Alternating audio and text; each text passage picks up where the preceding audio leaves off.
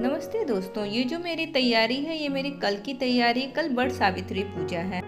पूजा के लिए जिन जिन चीज़ों की ज़रूरत होती है, सबको मैंने पहले इकट्ठा एक जगह पे रख लिया है, ताकि थोड़ा दूर जाना है, जाते वक्त मैं किसी भी चीज़ को भूल ना जाऊँ, जैसे पकवान, मिठाई, फल, फूल और एक बाँस के पंखे की भी ज़रूरत होती है, उसे भी मैंने, देखिए, यहाँ पे रख लिया है और साथ में एक लोटा पानी का भरा हुआ भी मुझे लेके जाना है।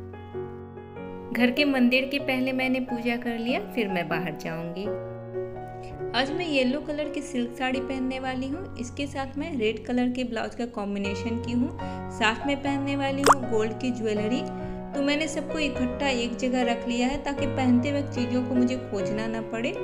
और इसके साथ मैचिंग करते हुए मुझे चूड़ी पहनना था तो उसे मैंने पहले से ही अपने हाथ में पहन के रख लिया है। कुछ व्रत या त्यौहार ऐसे होते हैं ना, जहाँ आप जितना तैयार हुए उतना कम है। तो सबसे पहले साड़ी पहनने के पहले मैं अपने पैरों को रंग ले रही हूँ अलता से। मुझे बहुत ही सिंपल डिज़ाइन आती है। जो भी डिज़ाइन मुझे आती है, उससे मैंने पल, पैरों को कलर कर लिया। अब आई पायल की बारी। पायल देखिए, मेरी शादी के टाइम की है, बहुत भारी सी है। पायल पहनते ही पैर की खूबसूरती कितनी अच्छी बढ़ गई। अब आई सिंगार की बारी। जो भी सिंगार मुझे करना था, वो मैंने कर लिया। अब देखिए, मेरा फुल लुक आप देख लीजिए। पैर में पायल। मैंने सीधे पल्ले की साड़ी पहनी है। चलिए, ऊपर से आपको दिखा देती हूँ कि मैं कैसी लग रही हूँ। मैं अब पूरी तरह से तैयार हो गई हूँ पूजा पे जाने के लिए। आपको मैं कैसी लगी, मुझे कमेंट बॉक्स पे ज़रूर बताइएगा। और ये मैं जा रही हूँ अपने पेड़ की तरफ़ पूजा करने के लिए मैं पहुँच गई हूँ अपने पेड़ के पास। थोड़ी साफ़ सफ़ाई देख ले रही हूँ कैसी है। फिर उसके बाद पूजा करने बैठ जाऊँगी। मुझे कुछ पत्ते की ज़रूरत थी तो उसे मैंने ऊपर से तोड़ लिया है। अभी ज़्यादा लेट नहीं हुआ था। सुबह के साढ़े सात ही बजे हैं। धूप भी हल्की आई हुई थी। बस एक जगह देख के मैं अच्छे से बैठ गई। जिन पत्तों को मैंने तोड़ा था, उन सबको धो के नीचे बिछा दूँगी। उसी के ऊपर मुझे लाए हुए जितने प्रसाद हैं, उन सबको रखना है।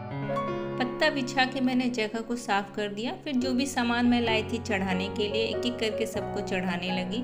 जैसे पान, सुपारी अक्षद चना, फल, मिष्ठान एक एक करके मैं सभी चीज़ों को चढ़ा दूँगी। थोड़ा जल्दी पेड़ के पास पूजा करने आने का एक फ़ायदा होता है कि आपको जगह खाली मिलती है और आप थोड़ा आराम से पूजा कर सकते हैं। नहीं तो फिर ऐसा लगता है कि मेरी वजह से कोई इंतज़ार कर रहा है तो मैं कितना लेट करूँगी। तो मैं थोड़ा जल्दी ही आ जाती हूँ। इस टाइम हवा भी अच्छी रहती है, गर्मी भी थोड़ा कम लगती है। बहुत ही आराम से मैं सब कुछ करते जा रही हूँ। जो कुछ भी लाई थी एकदम शांति से चढ़ाते जा रही हूँ। मैं चढ़ा रही हूँ बेलपत्र और मुझे दिया भी जलाना है तो हवा काफ़ी तेज़ है। हवा इतनी तेज़ है कि दिया जलाना मेरे लिए मुश्किल है। देखिए, लौ कितनी ज़्यादा हिल रही है। पूजा ख़त्म होने तक लौ जलता रहे, वही मेरे लिए काफ़ी है।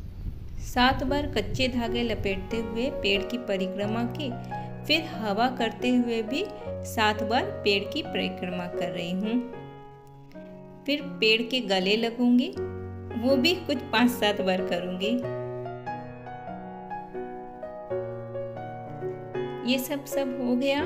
फिर एक छोटी सी कथा है। सावित्री सत्यवान की वो मैं खुद ही ने से बोल के सुन ली और कुछ मंत्र बोलते हुए कुछ मिठाई पीछे फेंकना था, उसे भी मैं फेंक दी। अब लौट आई अपने घर की तरफ़। आपको मेरा ये ब्लॉग कैसा लगा? यदि अच्छा लगा तो प्लीज़ मेरे चैनल को सब्सक्राइब कीजिए। Thank you.